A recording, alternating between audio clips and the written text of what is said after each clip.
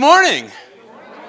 Welcome to Thrive Church. We are so glad to see you all on this beautiful Palm Sunday uh, morning. And uh, if you're here with us for the first time, we welcome you here to Thrive Church. I know we've been talking for months, months, and months now. Uh, building, and I'm happy to say we finally closed on the building. So, so yeah, I am. Uh, I'm so happy. Uh, we, we started looking at this building back. I think it was the end of June uh, of uh, last year, and we just closed on it on Friday. So it's finally ours, and now, now uh, don't get too excited because now is when the work starts. You know, so um, we're going to be having some like work days and different things. If anybody is interested in getting involved with that, uh, we'll keep you posted as uh, as time progresses. But uh, but I'm I'm excited that we'll finally have a, have a place to call our, our own. And, uh, and it's great because the, the building borders state land. There's hiking trails out there. There's all kinds of cool stuff that we'll be able to do. And uh, it'll just be a, be a great thing for us. So, anyhow, um, we are in the final, uh, final week of our series called Start. So, we're finally going to land this plane. And we've been talking about what it means to, uh, to start your faith over again.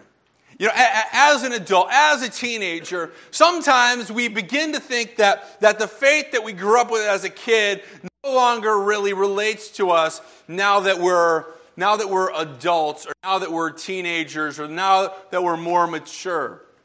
I've met so many people in the course of the in, in ministry and they, and they went to church and, and, and they had a certain you know requirement to fulfill maybe a confirmation or something like that. And, and, and the parents were like okay once you do that you, it's up to you what you want to do. And they do that and then man we're gone out of there. It's like man this doesn't relate. And, and, and we feel like sometimes our faith just doesn't really apply to the struggles and the difficulties we face as teens and young adults and as adults so we've been looking at different things and, and we started out by, uh, by you know, in the very beginning, looking at, at, at sin and about uh, what it takes to believe in God and faith. And we've looked at a lot of things, but we're going to look at something today. It was something that actually happened, and actually something that is actually happening. And, and this is something that we really need to understand in order to fully embrace Christianity, in order to fully embrace Christ and the work that He's doing, we need to understand this because it's foundational to our faith. And, and, and there's really no way to explain this phenomena that I'm going to talk about. There's no way to explain it unless if Jesus is actually alive. If Jesus died in the grave, then, then this whole concept would be irrelevant. And Matthew, in the book of Matthew, he tells us a story and in this story, Jesus and his disciples are traveling. They're going to Caesarea Philippi. Now, this was a city that was uh, over 100 miles away from Jerusalem, okay? And they're traveling there on foot as far as we know, so it's probably a several day journey. They're on their way to Caesarea Philippi, 100 miles. That's like if we said right now, you know what, guys, let's go to New York City and we're to walk there, okay? So, I mean, you can imagine this is a long journey that they're making. It's not long in a car, but it's long if you're doing it on foot. And so they're out there going to Caesarea Philippi. Now, Caesarea Philippi was a city that was run by Philip II. Now, just a little bit of history information for those of you that maybe know something about the Bible. If, if you don't know much about the history of the Bible, just bear with me for a moment. Philip II was married to Salome, who was the daughter that actually danced before her mother and father when John the Baptist's head was cut off. Some of you might remember that. Well, this daughter was married to Philip II, who Philip II was the ruler over Caesarea Philippi, hence the name Philippi, which was, comes from his name, Philip. Well, Caesarea was the name that they give, had given it, uh, given to, to honor Caesar Augustus. Caesar Augustus was the very first uh, emperor of the Roman Empire. He is considered the founder of the Roman Empire, and, and he was the son of um, uh, Julius Caesar. or actually, he was the adopted son of Julius Caesar. And, and he was thought of almost like a god. Like that's how they revered these emperors here. So here they're going into this city, Caesarea Philippi, ruled by the Roman government, named after Augustus Caesar, who was the first emperor, this godlike figure. And they're going in there, and, and here it says in Matthew 16, starting in verse 13. It says, When Jesus came to the region of Caesarea Philippi, he asked his disciples, Who do people say the Son of Man is? Who do they say that I am? And it's interesting because, again, here we're going into this city with all these self proclaimed godlike figures. You know, you got Philip who's ruling the place, and Caesar Augustus, and all these different uh, emperors and rulers in the Roman Empire that were, were jockeying for this deity role. And Jesus is saying, uh, Who do you who do people say that I am? And, and in verse 14, it says, Well, they replied, some people say you're John the Baptist. Now remember, they're going into the city where, where the ruler's wife is the one responsible for the death of John the Baptist. So some say John the Baptist. Some say Elijah, and others say Jeremiah or one of the prophets. But then he asked them. See, first he asked the question, Who do they say I am? And they say all these things. And then he says, But who do you say I am? Who do you say I am? And we've talked about this a couple of times in this series how you know, a lot of people may, may try to base their faith simply on, oh, this is what the Bible says, or this is the, what, what's historical. But really, what our faith comes down to is this question Who do you say that I am? Jesus is asking each of us, Who do you say that I am. And some people say, oh, he was a great prophet. In fact, all the world religions kind of, you know, uh, elevate Jesus to the role of a great prophet. Who do you say that I am? And in verse 16, Simon Peter, he answers this. He says, You are the Messiah, the Son of the living God. Jesus replied, You're blessed, Simon, son of John, because my Father in heaven has revealed this to you. You did not learn this from any human being. As in, bingo, God told you that. You're not smart enough to come up with that on your own. You're not smart enough to figure that out. God showed you that. He says, Yeah, yeah, you're right. And in a way, this, this is kind of a, you know, if, if we were in that conversation, it could kind of seem a little egotistical, right? I mean, he said, so You're the Son of God. You're the Messiah. And he's like, Yep, bingo, you got it. But then Jesus goes on in verse 18 to make a prediction. He, he, he makes this prediction about something that's going to happen in the future. And he says, Now I say to you that you're Peter, which means rock. And upon this rock I will build my church, and all the powers of hell will not conquer it. Now, people argue about what that word rock means. Does that mean Peter? Does that mean the Messiah? You know, really, at the end of the day, that's not what's significant about this. What's significant is about what Jesus is talking here, saying, I will build my church, and the gates of hell won't conquer it. The powers of hell won't conquer it. Well, that word, uh, it's in your notes. That word church comes from the Greek word ecclesia. Okay, guys, say that with me. Ecclesia. Ecclesia, okay? It's, we don't use this word, but it's, it's there. That's what, the, that's what the Greek word was. And this is what that word means it means a gathering, write that down, a gathering of citizens called out from their homes into a public space an assembly or congregation. So this word actually meant to call out into a public place. So if they were going to have a big, you know, a big, you know, hearing out in the streets, they would call people out from their homes and they would go out and they would gather in the streets.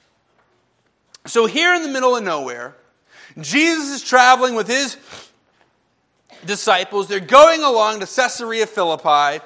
They're actually outlaws. In fact, they, they're afraid, not Jesus, but the disciples are afraid to even go back to Jerusalem because they know if they go to Jerusalem, they're dead meat. Okay? So, so here they are out there afraid of everything, and Jesus says, Guys, I'm going to build a gathering. I'm going to build a, a congregation. I'm going to build a group of people.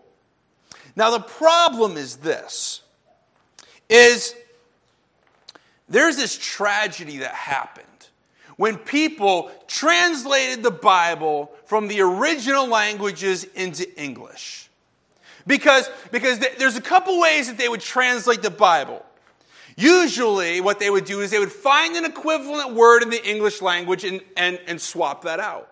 Sometimes they would actually take the Greek word and try to spell English, like like baptism is like that. You know, it comes from the Greek word baptizo. So they try to like say, okay, how can we say this in English?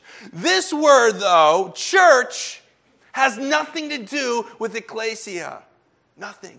Absolutely nothing. In fact, this word church was taken from a German word, which was taken from another Greek word, and it doesn't mean gathering. It means, you have it in your notes, church is house of the Lord house of the Lord. It's a building set apart as sacred.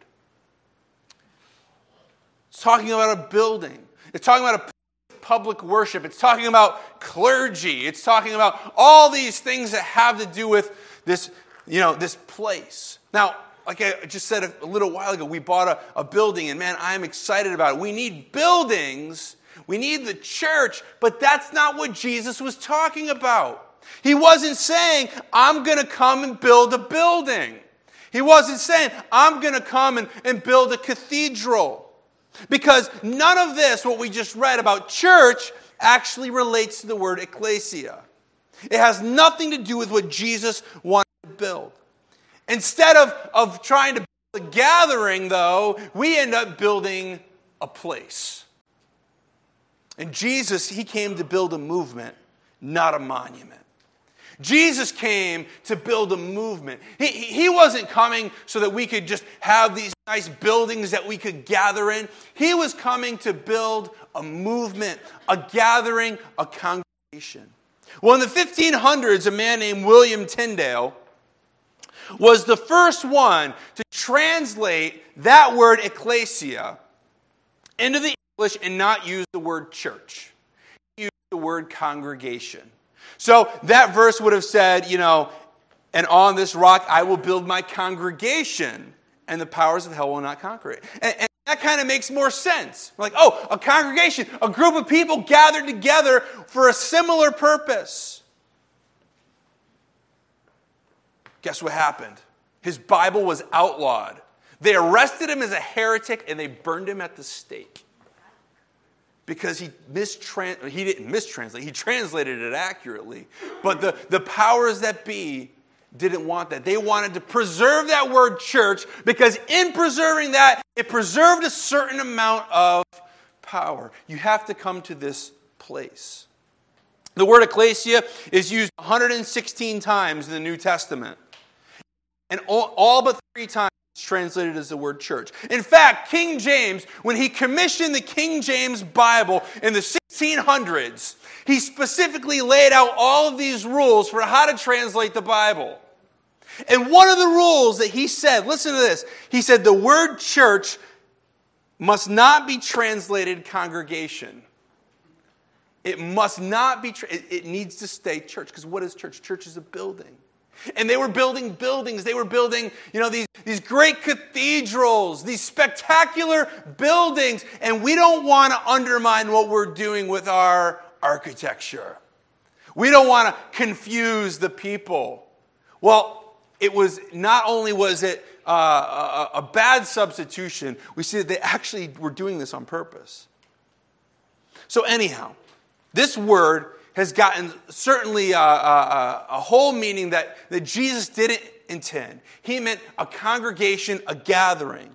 Now, after this conversation, Jesus, of course, we know, he, he came in to Jerusalem. We're celebrating today on Palm Sunday. He came in riding on a donkey. He was getting ready for his last few days on earth. At that point in time, he was arrested, he was crucified, they buried him, and all of his followers, they split. Nobody believed anymore.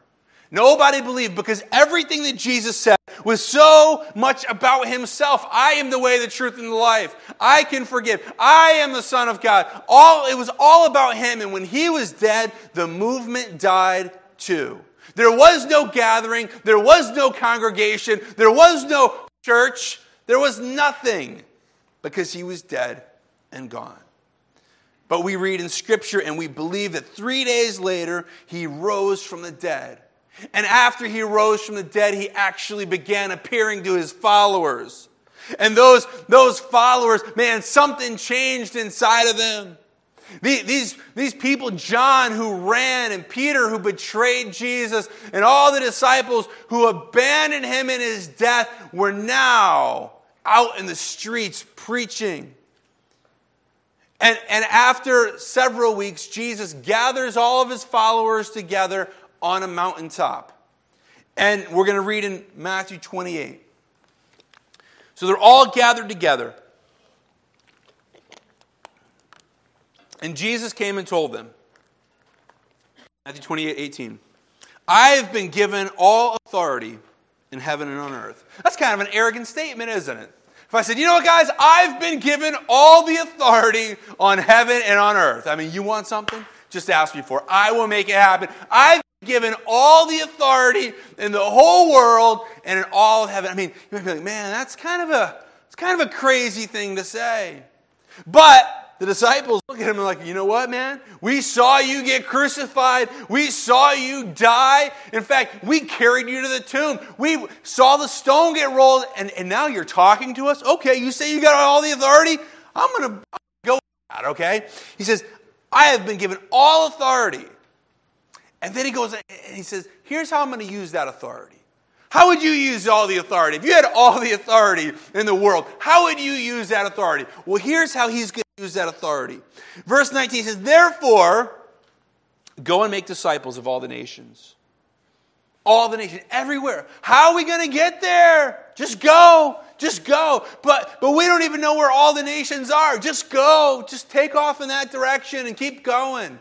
He says, Go and make disciples of all nations, baptizing them in the name of the Father and the Son and the Holy Spirit. Verse 20. Teach these new disciples to obey the commands I have you. And be sure of this I am with you always, even to the end of the age. And then he leaves. It's like, wait a minute. You just said, you're going to be with us always. And then, and then he's gone. He disappears. He, he's, he's gone away. He says, I will be with you always. Followers, these that were formerly cowards, they now begin to go into the streets. They begin to go out there preaching. We talked about this last week. They weren't preaching the parables that Jesus said. They weren't preaching the miracles that Jesus did. They weren't preaching even his greatest teachings, the Sermon on the Mount. They weren't preaching that. They had a four point sermon, and, and it's in your notes. It says, You've killed him. Yeah, you, you people here. You know, they were looking at the very people that were responsible for Jesus' death. You've killed him. God raised him. We've seen him. Now you say you're sorry. You say you're sorry. And that's the message that they were preaching. It was simple. Hey, Jesus died. Everybody around here knows Jesus died. And we saw him back to life again. Now say you're sorry. And in Acts 2:47, it says, "In each day the Lord added to their fellowship those who are being saved." Who added? The Lord added. You know, and so many times, you know, churches, they, they, they, they struggle and they try to say, oh, how, what do we have to do to add more people? Here it's saying, the Lord added to their fellowship those who were being saved, those who were deciding to follow Christ, those who were going to take faith. And the Jesus movement was now born. And we see thousands of people in Jerusalem begin to follow him, begin to believe. They become disciples. And the, the church, as we, as we know it as a gathering, as this congregation, as this ecclesia, began to grow and grow. Not because of teaching, but because of an event. That event being the resurrection of Christ. So for two years, this is going on. It's growing, people are coming to faith, it's growing, things are going good, and then it stalls. it slows down for some reason. There was persecution that hit the church. People were now, now saying, if you're going to believe in this, this new thing, we're going to imprison you, we're going to torture you, we're going to kill you. And it stalled the whole movement. And then there was another problem. These disciples, Jesus said, go into all the They were like going into all the neighborhoods. They weren't quite going far enough. They're going down the road. They're, they're talking to God in all these areas, but they're not going into the nations. Because see, and God's saying, you know, this isn't just for the Jews. I think you maybe misunderstood that. It's not just for the Jews. So, through that, God raised up another person. Like, who can we raise up now? This man named Saul. Saul, who, who was somebody that was chasing down Christians and imprisoning them. Saul, now God appears to him and says, Saul, you are gonna, you're gonna be a spokesperson. And, and I want you to go into all the nations. And Saul, his name was changed to Paul. He comes and he meets with the leaders in Jerusalem, and this is the deal they worked out. He's like, You guys take all of Jerusalem, and I'll take everything else.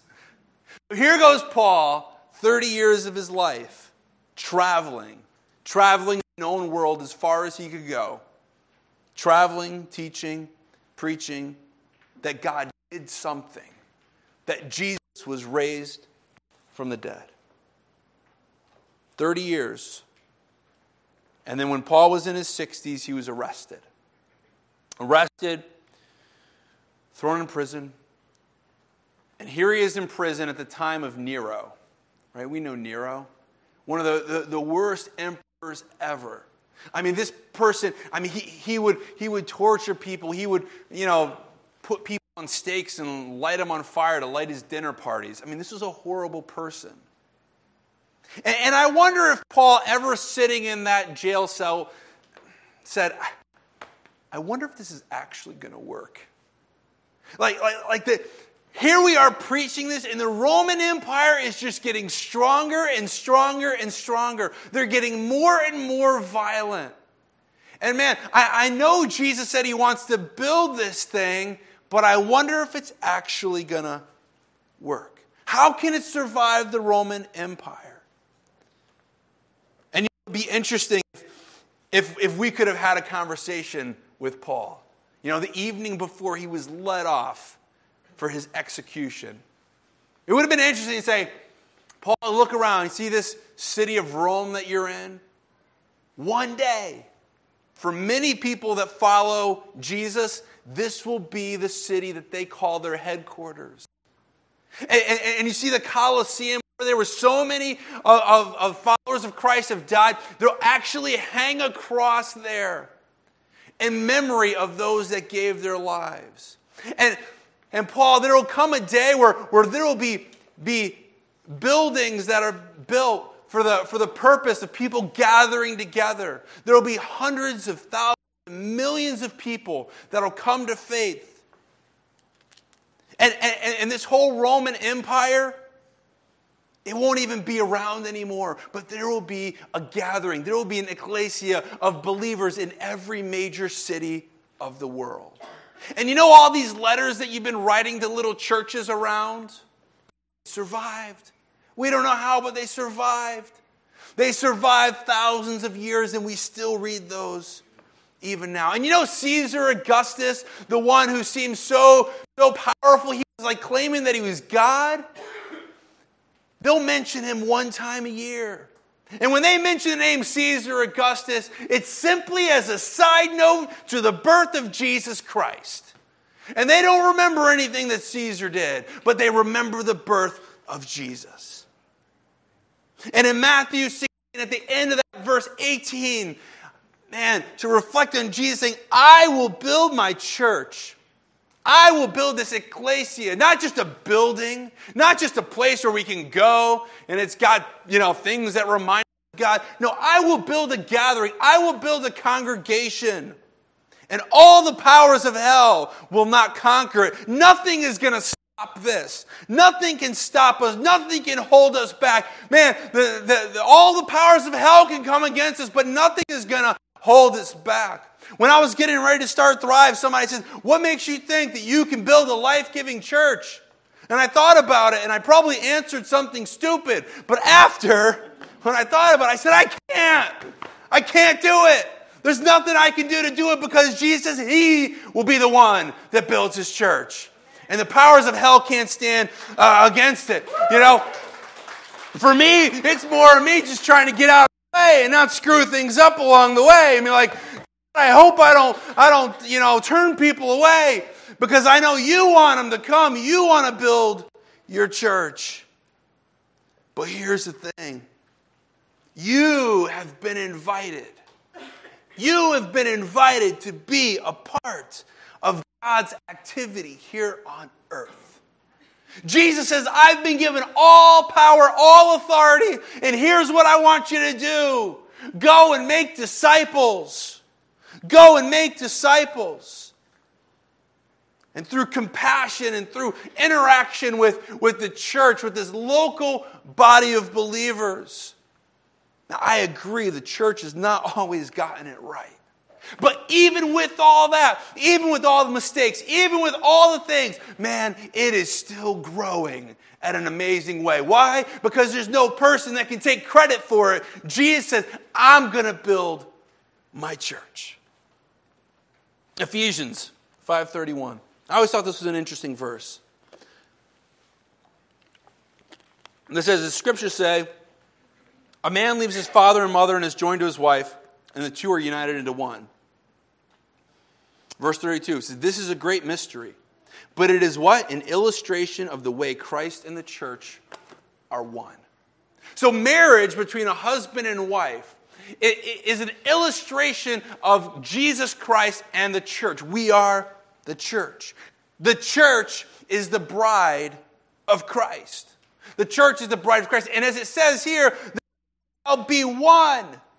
The two shall be one. But it's an illustration of the way Christ and the church are one.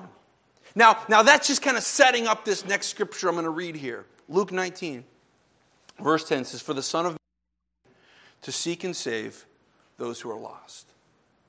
And, and I, have I talked with other, other pastors, and there's one thing, if you want to get me mad, it's, it's about this because there's, there's sometimes people out there believe that, oh, what we need to do is just gather, we huddle around together and we sing a few songs and we tell the rest of the world to go to hell. And, and, and, the reality is, he's saying the Son of Man came to seek and save those who are lost. And if, and if the church is the bride of Christ and we are supposed to be one, then should not our main primary function be to seek and save the lost as well? To make disciples of all people, baptizing them in the name of the Father, Son, and the Holy Spirit. Should not that be our number one priority as well? Our, our priority here at Thrive Church is not to go and buy a building. Yeah, it's great. I'm excited that we have a building, but that's not the reason why we exist. We exist to reach out to other people and tell them that something happened. That Jesus is alive, and you know what? It actually relates to our lives. It's not just some, some religious mumbo jumbo that we go to feel good about ourselves, maybe. It's something that's actually practical and relates.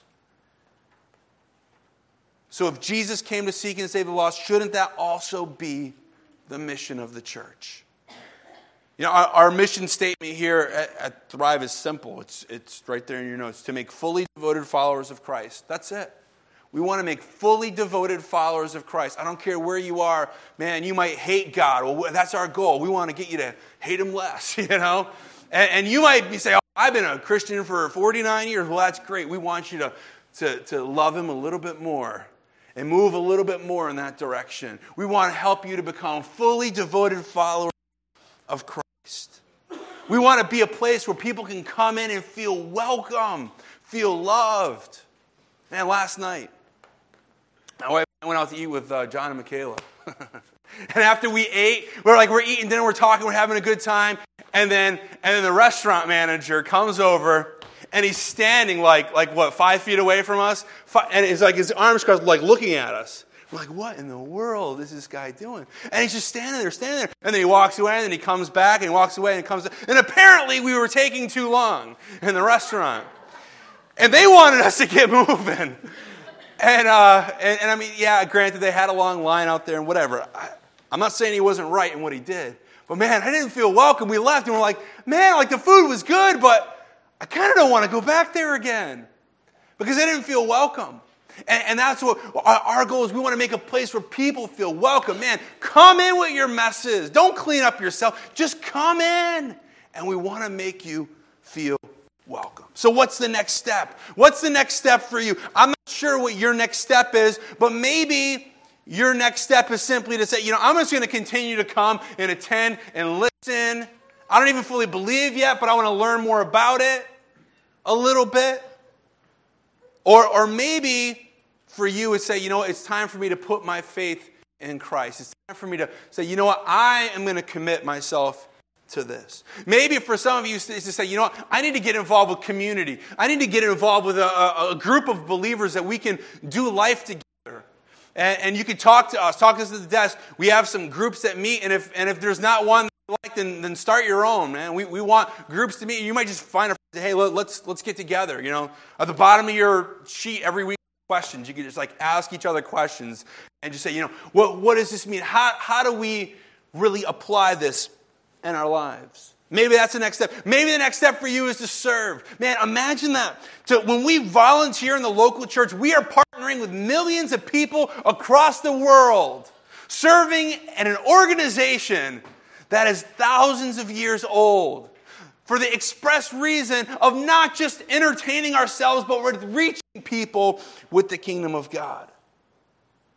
Maybe for you, it's saying, you know, it's time for me to start giving, to contribute financially. And, and I think giving is even a bad word. I, I like to look at it more as investing. You know, what, what better investment than to invest into the kingdom of God? So, you know, I'm going to invest my resources into helping God's word get preached in this area and to help people become discipled and grow in the relationship. I don't know what your next step is.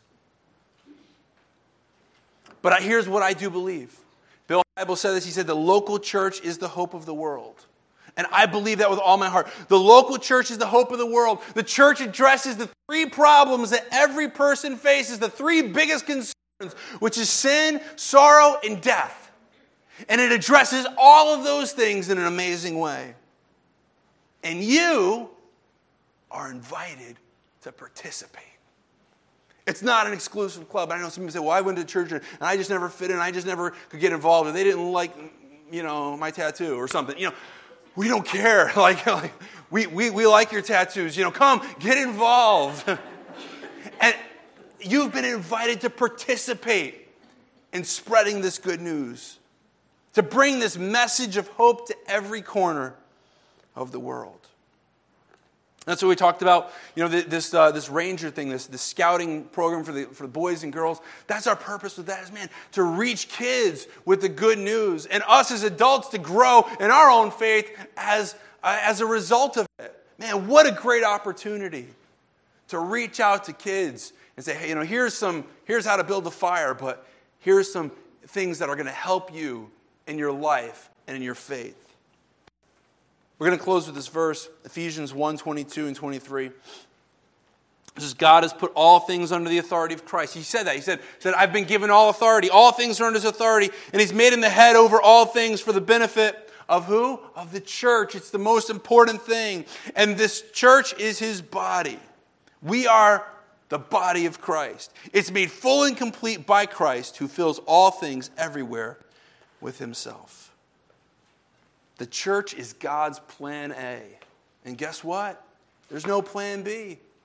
There's no, so some people say, oh, I just don't like the church. I've just been burned by the church. I'm sorry. I'm sorry about an experience that you've had that you didn't like. I'm sorry that sometimes people hurt you. I'm sorry about all this. But, but, but Jesus says, I'm going to build this ecclesia. I'm going to build this gathering. And all the powers of hell can't come against it. So even if we've had bad experiences, we need to say, you know, I need to put that aside for a moment and realize that God is inviting me to be a part of His organization, to play a role in reaching people.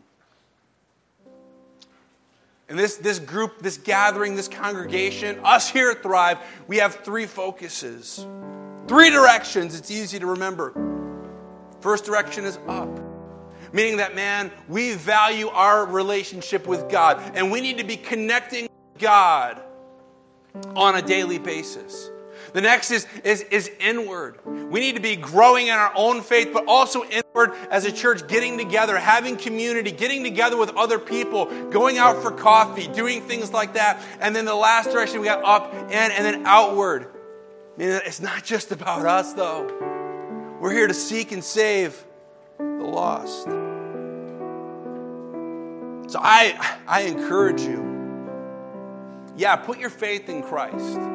But but let's not let it just stop there. I want to encourage you to engage and to be a part of what God is doing here on this earth. What God is doing here in Connecticut and in New England and in Litchfield County and in Thomaston and Terryville and Plymouth and all these surrounding areas. Man, when we started a church, I, you wouldn't believe people say, you can't start a church in Connecticut. People don't want to go to church. I'm like, I, that just seems like the people we need to be reaching, though. If anybody needs it, it's the people that aren't going. Why would I want to go and reach people that are churched? But God is, he, He's inviting us and encouraging us to be a part, to engage. We have the opportunity to partner with our Heavenly Father to change not only our communities, but the world. I would encourage you to take the next step. For some of you, that next step might even be further saying, you know, I feel like God is, is calling me into even a higher level of serving that I give my life to serve on in full-time ministry, on a mission field. Man, if you feel God's calling you to take a next step, take the next step. You will never, Let's pray together. Father, we come to you and we thank you for coming to this earth and for building your church. Not a building, not a cathedral, but this ecclesia, this gathering, this congregation. We thank you for building this. And you said the powers of hell can't stand against it. And we thank you for inviting us to play a part in that. If you're here and you've never made that you know, decision to follow, maybe maybe you're at a point in your life where you thought you were following me. Say, you know what? I just I just need a reboot. I need a restart. I need a reset.